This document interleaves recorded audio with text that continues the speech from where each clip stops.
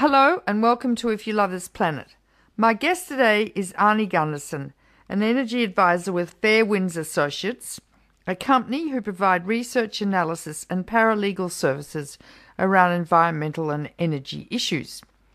An independent nuclear engineering and safety expert, Arnie provides testimony on nuclear operations, reliability, safety, and radiation issues to the Nuclear Regulatory Commission, to congressional and state legislatures, and government agencies and officials throughout the US, Canada, and internationally.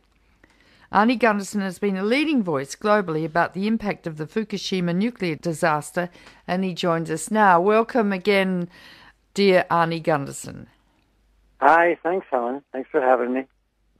Well, um, we will first do Fukushima. Um, I want you to bring us up to date now on what is currently going on there about radiation releases both to the air and to the sea, um, and your prognosis for the future about what is going to happen there. So let's start at the beginning. What's happening now? Okay. Well, let's um, let's talk about um, the condition of each of the, the reactors. And so, what the um, what the conclusion is is that fine pieces of nuclear fuel Mm-hmm. have escaped the containment and are lying as a powder on the bottom of the torus room. The only thing that can account for exposures that high is, is high small particles of, of nuclear fuel that have um, um, that have settled out as the as the water um, the water calmed down. But is So- are, are they in water? Uh, Are these, Yes, they're underwater. Yes, they're underwater. Okay. but they're lying on the concrete. You know, the big question is how the heck do you decommission something like that? You know, 20 or 30 years from now, this radiation's still going to be Yeah. um, 100 times lethal. level. Lethal. Yep. Yes. So I think they get to the point where, you know, they throw some concrete over the top of it and come back in 300 years. So this is uh, um, not something that I can figure out how one would um, would clean up. You might just uh, be better off from the personnel exposure to um, to seal it and and wait for it to decay in three or four or five hundred years. Then- Arnie, where did these particles come from? Because the fuel's melted, is it, in Unit 2? Um, and it's in a sort of corium mass, you know. How did all these particles get to the bottom of the torus, which is a donut shaped. they actually escaped the torus, and that's that's what's fascinating. The torus is still part of the containment. oh, These are outside the containment in the torus room, which is a building that surrounds that donut. oh, Um, so, yeah, in Unit 2, it's quite clear that the torus, the junction between the torus and the, and the, what we call the dry well, the, the dry part of the containment, failed. And so there's been a breach of the containment in Unit 2.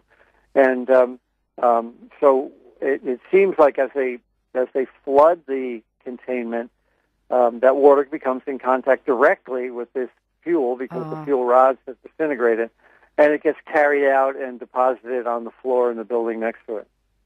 Now, is Unit 2 where they had the MOX fuel with plutonium, or is that Unit 3? Unit 3 had the MOX fuel, but it only had 30 bundles of MOX fuel. Now, but the, the more important thing on the on the plutonium is that all of the reactors had plutonium in them because all of them had been operating, and of course the uranium 238 becomes plutonium 239 when it absorbs a, a neutron. So there was um, uh, close to a ton of plutonium in each of those reactors um, within the fuel bun, not in a single location, but you know scattered throughout the fuel. So there is plutonium 239 in all four reactors uh, as a result of the fact that the fuel was irradiated. A ton of plutonium in each reactor. Yes, So that's four tons of plutonium. yes, My, my God. yeah. It's a big number, and, and of course you and I know how how dangerous small quantities of plutonium can be. So, yeah, that, that again makes the cleanup that much more one important, and two that much more difficult. What's in the air and what's in the water? Yeah. Um, there's there's not a lot in the air. Um, you'll you'll see those reactors steaming still. They're giving off gas. Unit 1, of course, has a cover on it, so most of the gas is captured. Units 2 and 3 don't. So whatever uh, steam is coming out of the building is carrying some radiation. Um, nowhere near what happened in the first week, month, etc. But there is some radiation going out airborne.